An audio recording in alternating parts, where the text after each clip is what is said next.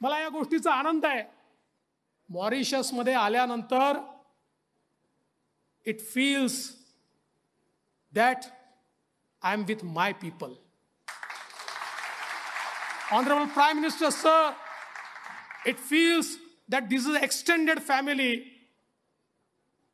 Our Honorable Prime Minister Sri Narendra Modi ji, he started his campaign in 2014 for election by going to Raigad and paying his homage and prayers to Chhatrapati Shivarai.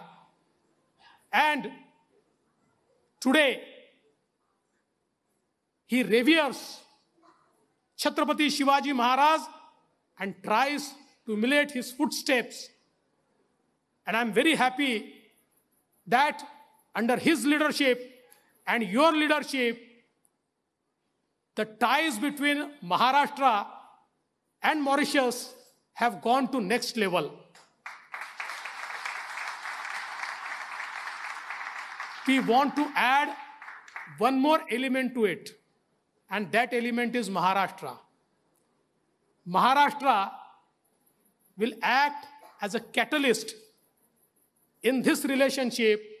We want to build a very strong relationship with Mauritius and, of course, with our Marathi Mandali who lives in Mauritius.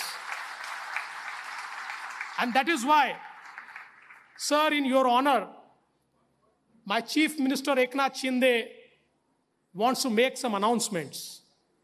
And the first announcement is that Asadji, the multipurpose hall which you have described, the government of Maharashtra will spend 44 million Mauritius rupees to build this multi-purpose hall.